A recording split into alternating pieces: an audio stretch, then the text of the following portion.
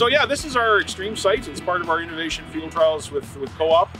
Uh, the, the purpose of an Xtreme site is to, I guess, condense a lot of treatments into one area. Uh, we do a number, number of trials across Western Canada with different fertilizers, different crops, different varieties, herbicides, that kind of thing. But the purpose of an Xtreme site is to pull everything together in one site where we've got multiple treatments, multiple crops, multiple products that we're using. So themes that we look at when we're at this site this year, uh, one is sustainability.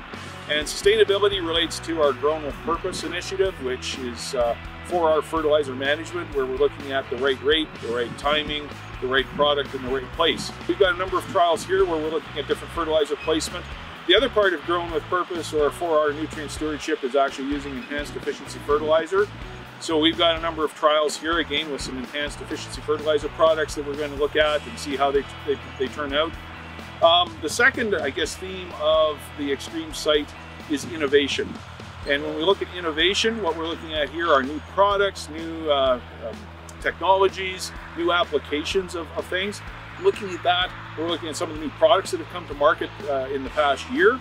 And so again, we, we trial those and, and get them out here for, for uh, demonstration purposes to see how they turn out and, and new varieties, new herbicides. We're also looking at then the long-term viability of the farm. And I guess sustainability kind of links in with some other aspects as well besides 4R nutrient management.